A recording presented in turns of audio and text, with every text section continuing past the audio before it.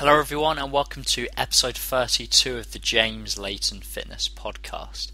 Now, in today's episode, we're going to be discussing why you should be dieting on as many calories as possible while still seeing progress, and also using as little cardio as possible while still seeing progress main reason being people seem to misinterpret fat loss, and this, in my opinion, comes from an extremist view as I discussed in my, a lot of my other podcasts, for whatever reason, the fitness industry seems to draw extremism. Whether that's the case of when someone's in a fat loss phase, they believe they should just eat as little as possible, do as much cardio as they possibly can, or on the flip side, we're in the bulking phase and they're just trying to eat as much as they can. As the answer often lies for a lot of topics, the answer often lies somewhere in the middle. But it's important we firstly take a step back and look at this fat loss phase and realize exactly what we're trying to achieve. Now, the main purpose of the fat loss phase is essentially threefold. We're obviously trying to lose as much body fat as possible. The second point is we're trying to maintain as much muscle mass as possible. And thirdly, we're trying to maintain as much strength as possible. So these are three key factors, and if we try and focus just on fat loss and forget the other two goals, strength and muscle mass, we're going to lose a lot of strength and consequently lose a lot of muscle mass as well. So, therefore, it's a three pronged attack, and we need to focus on all three of these. And as a result, by default, by trying to maintain as much muscle mass as possible, this will result in a more slower, steadier approach to fat loss. However, the benefits are going to be huge. The big benefit will be maintaining as much muscle mass and strength during the fat loss phase. Now you understand the main three objectives during the fat loss phase, this should give you a better indication of how we should set things up in terms of training and nutrition.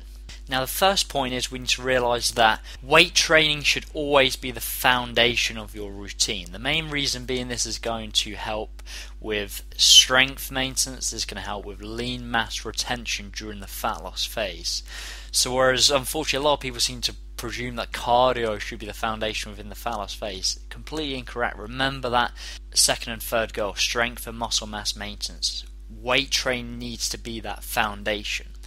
Now, once you have that in place, we're then going to be slowly reducing calories and slowly adding in cardio if and when required. However, to start with, ideally we want to have the weight training in place for the individual to be consuming as many calories as they can while still seeing fat loss progress and as little cardio as possible. And it's also important to note that you're going to you're going to be a slave to the deadline. So, for example, if you have a competition or a holiday, that deadline will dictate the aggressiveness of the energy deficit, the aggressiveness of how much cardio you may have to use, despite what I'm saying here.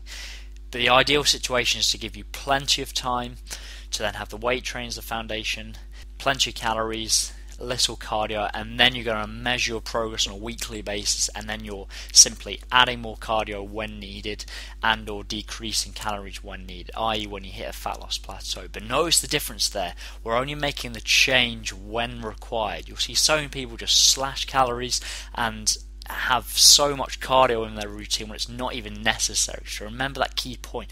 We're only subtracting food intake and or adding cardio when it's actually needed, i.e. when you hit a plateau in progress. As briefly discussed above, people for whatever reason seem to pigeonhole cardio as fat burning.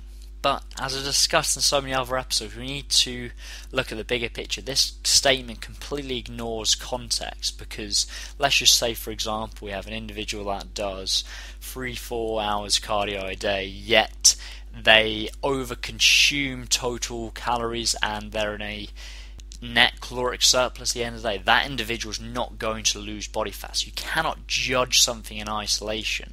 So as a result, food intake needs to be controlled.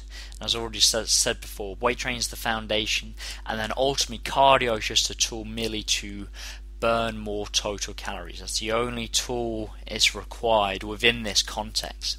Weight training the foundation for maintaining muscle mass, and maintaining strength. Cardio is merely a tool to further expend caloric expenditure. It's also important to note that within the context of weight training, if you actually consider what you're doing, you're doing short bursts of intense activity, then you're resting, then you're repeating. Now, what does that sound like? That sounds a lot like HIT training. So it's important to realize that weight training is actually very similar to HIIT in the terms you're doing an exercise for a short period of time, resting, then repeating. Because for whatever reason, people seem to pigeonhole the different training attributes. However, they're all very similar when you really think about it. Within the weight training, we're still burning lots of calories, but yet that huge advantage of maintaining muscle mass and strength is so, so key, and that's why it's the foundation. Hopefully, that makes sense. So, regards to fat loss goals, again, we're focusing on that slower, more steadier approach because we want to maintain muscle mass and strength. So as a result, you want to be focusing on 0.5 to 1% weight loss per week. And if you've got more fat to lose, focus closer to the 1%. If you're already very lean, potentially you're prepping for a competition, it's going to be close to that 0.5% weight loss per week. The ultimate goal is we're slowly seeing progress over the weeks, over the months to get you to your end goal.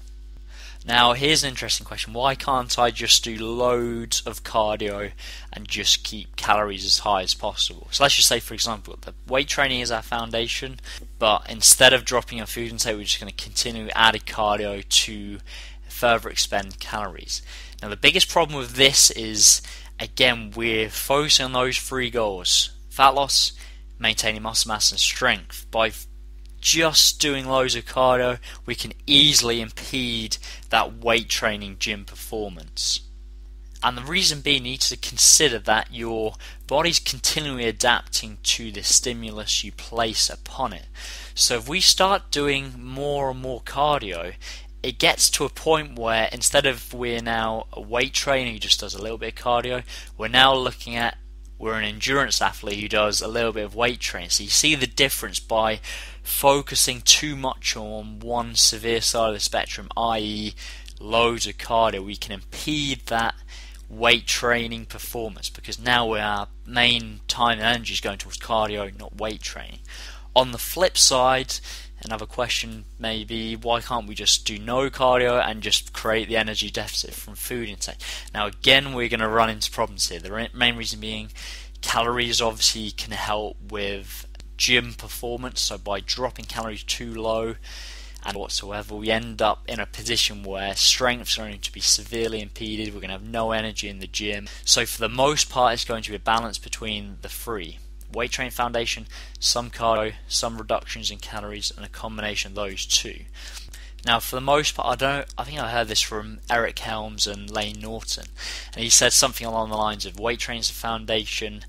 70% of the reduction should be from food intake, and the other 30% should be increases in cardio. And I think that's a pretty good general rule. That doesn't hold true everywhere. So, for example, females tend to just need more cardio to get lean. However, that's a pretty good indication. Mainly drops in food intake and then cardio's used less frequently. That's a very general rule. I don't want to generalize too much here because each individual will require a different approach, but that's a, a general overview. Now, quick note on high carbohydrate refeed. So basically, these are days where you're having higher carbohydrates than your typical dieting carbohydrate figures, and the goal for this is a twofold really: increase a hormone called leptin, which drops during dieting, to basically replenish glycogen, which can acutely help with gym performance for that day or the day after. Can give a psychological break from dieting, and can provide a little bit of short-term energy. Can like I said help with replenishing any strength loss potentially on the day you have the refeed day or the day after another quick point is potentially having diet breaks within your fat loss phase. So typically this is only for individuals that have been dieting for a long period of time but the goal of the diet break is basically to bring your calories to maintenance for one to two weeks to basically restore a lot of these negative physiological set changes to provide a psychological break, and then you can go back to dieting again. So it's a great way to break up an really extended fat loss phase over several months where things can get pretty tough mentally. The physiological changes that happen, and having a two week or one week maintenance calories, reduce volume during that period potentially can really help freshen up the individual to then start dieting again. So hopefully you've really found this useful because in my opinion this is one of the biggest misconceptions out there. This constant thought that fat loss is all about slashing calories, loads of cardio rather than a tailored approach and you're ultimately just using drops in calories and or increasing cardio if and when needed. Weight training as that foundation. So hopefully you found this useful. If you want to learn more about me, please go to James Layton, L-A-Y-2-N, fitness.co.uk. Got loads more content on the site. Listen back to all of the other podcast episodes. I think I've got over 100 videos on my website, blog articles, and also sign up to my free book, How to Set Up a Nutrition Plan.